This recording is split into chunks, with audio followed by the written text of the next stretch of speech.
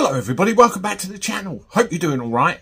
Thank you very much for the support. Make sure you like, subscribe, leave comments, share the content. Hope you're all well. Let me know, and that's good to hear. Well, GB News have started this big uh, campaign, Don't Kill Cash, and we're all agreeing on this channel, cash is king. We need it. It's what makes the world go round, and we're all very worried about the introduction of CDBCs, if I think I've got the acronym right, central bank digital currencies. That's not digital currencies as in Bitcoin or anything like that. That's a currency very much controlled by our governments. Now, there's one interesting statistic that's come out recently, and that is the increase by about 10% of the level of cash withdrawals taken out from the post office.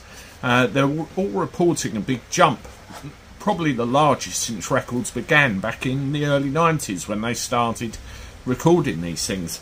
Now, listen to a couple of these statistics. Uh, financial experts suggest the jump is a sign that households have been dipping into savings to help with cost of living crisis. That may be so, but the other thing to consider as well a lot of major high street banks are closing their branches. Me personally, I bank with Santander and our local branch was closed down quite some time ago. I've got a five mile drive to get to my nearest one, and if that's shut, probably a 13 mile drive to get to another one.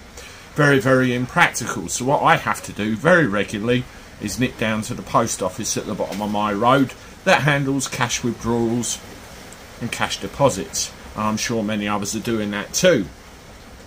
In June, the post office said the total value of personal and business cash withdrawals and deposits was 3.35 billion pounds. And that's the highest level since last September.